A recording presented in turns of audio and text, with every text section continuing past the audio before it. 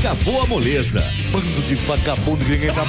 Ele está de volta para agitar a sua noite com programas ao vivo.